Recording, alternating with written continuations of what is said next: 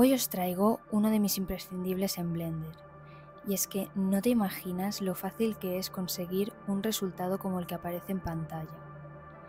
Así que en este vídeo vamos a ver cómo crear movimientos de cámara realistas de una forma súper sencilla, gratuita y con unos resultados totalmente profesionales. Como os he dicho, este truco se ha convertido en uno de mis imprescindibles en Blender, ya que eleva tus creaciones al siguiente nivel. Así que déjame compartirlo contigo. Lo primero que vamos a hacer es descargar el addon e instalarlo. Yo estoy utilizando la versión de Blender 4.3 y si descargamos el addon directamente de la página oficial de Blender, solo tendremos que arrastrarlo a nuestro programa y ya lo tendremos listo. Pero si esto no te funciona o quieres instalarlo de la forma tradicional, solo tienes que darle a Download y luego seguir los pasos de siempre.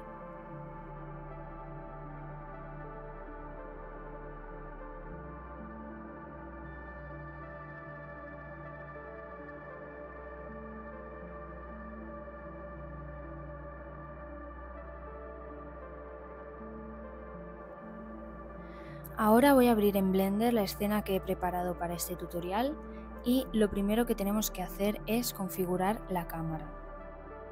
Pero antes os voy a poner en la pantalla otro componente para que podáis ver las teclas que voy pulsando por si os perdéis algún paso. Y ahora sí vamos a empezar a posicionar nuestra cámara.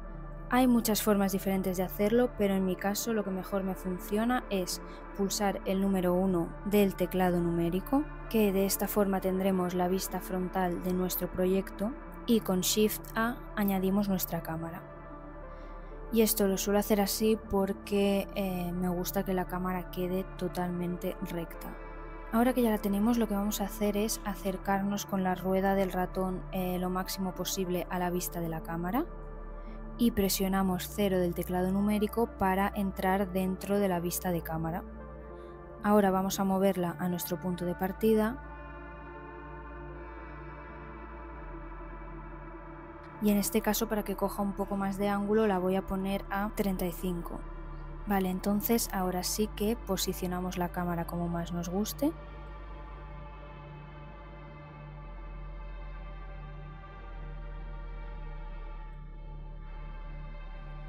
y cuando lo tengamos deseleccionamos y salimos del modo de vista de cámara volviendo a pulsar el 0.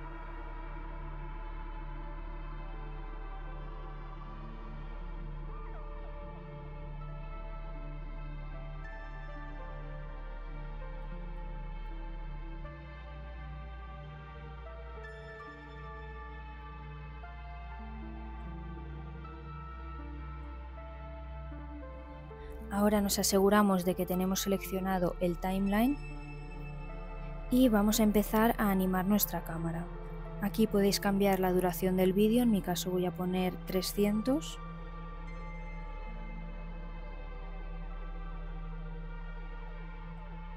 Y con la cámara seleccionada vamos a pulsar este botón que sirve para que cuando lo tengamos activado cualquier cambio que le hagamos a la cámara se podrá guardar como keyframe.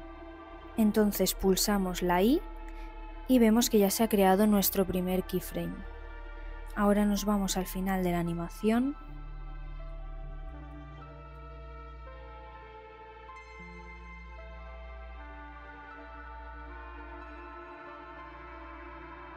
pulsamos el número 7 del teclado numérico que esto nos va a permitir ver una vista eh, aérea desde arriba, vamos. Y antes de continuar voy a sacar otra ventana en la que me voy a poner en la vista de cámara, como os he dicho antes, presionando el número 0, porque así podré ir viendo cómo va quedando mientras modifico la cámara. Otra cosa que suelo hacer también es ir a propiedades de cámara y subir esto al máximo para que solo se vea la parte que se va a ver en el vídeo. Entonces ahora sí que lo tenemos todo preparado para animar la cámara. Y para moverla pulsamos la G y la Y porque queremos que se mueva en el eje Y y simplemente la movemos hacia adelante hasta donde queramos. Como veis ahora se ha generado otro keyframe en el número 300. Y si nos movemos por el timeline vemos cómo ya está nuestra animación hecha.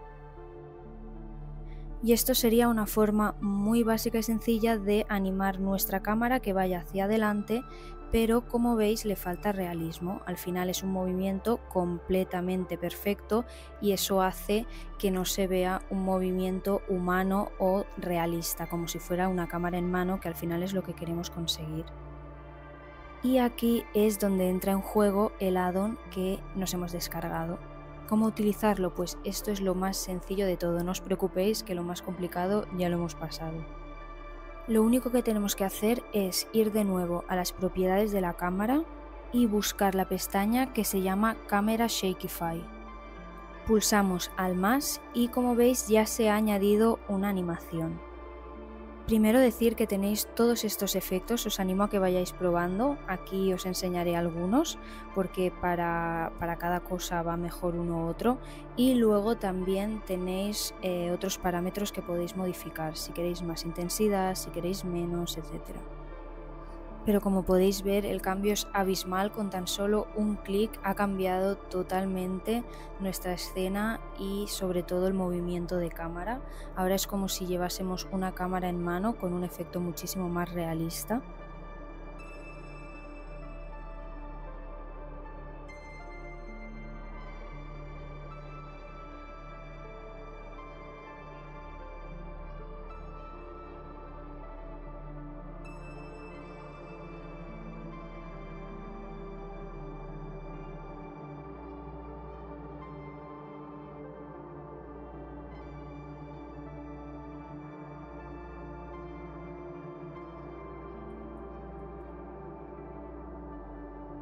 Y os animo pues a ir probando los distintos efectos, a ver cuál os conviene más según la escena. Hay algunos que es como si grabaras desde la ventana de un coche, otros que son como si llevaras la cámara mientras vas corriendo. Así que solo es cuestión de encontrar el que mejor te vaya a ti y a tu proyecto.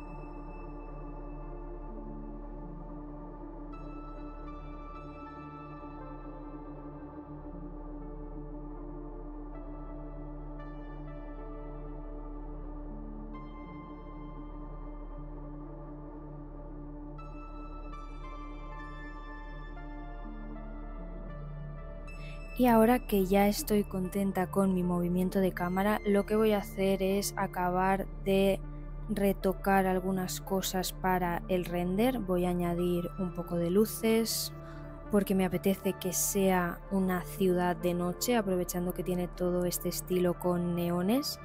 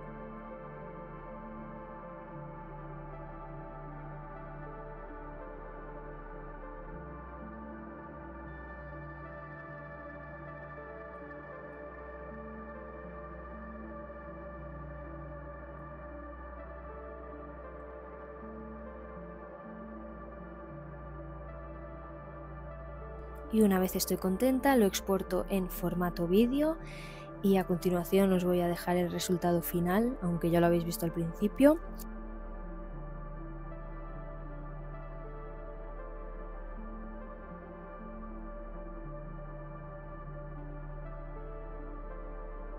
Y espero que os haya gustado el resultado tanto como a mí, que os sea muy útil y que podáis utilizarlo para elevar vuestros proyectos de 3D. Como siempre, gracias por haber llegado hasta aquí Si os ha gustado el vídeo podéis apoyarme suscribiéndoos, dándole like o comentando qué os gustaría ver. Si queréis saber un poco más sobre mí podéis seguirme en las distintas redes sociales y nos vemos muy pronto con más novedades.